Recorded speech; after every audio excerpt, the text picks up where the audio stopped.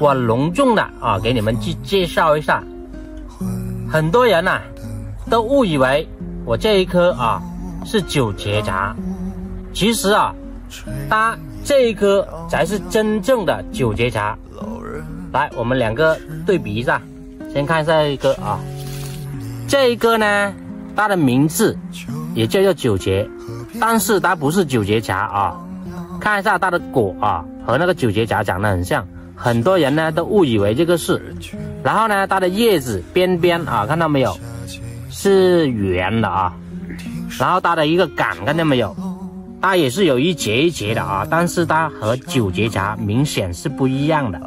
我手里拿的这一个才是真正的九节荚啊，看一下它的果啊，然后大家再看一下它的叶子，看到没有，它的叶子边边呢都是有一芽一芽的，看到没有？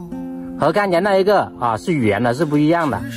所以说以后我们啊到户外啊一定要认清楚这个九节茶，来看一下它的杆啊，看见没有？它的杆呢啊，看到没有？它嘟起来啊，像个鸡腿一样，对不对？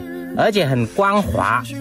以前我们一些老人家到户外啊都会拿一些回家，是挺不错的啊，大家可以了解一下九节茶。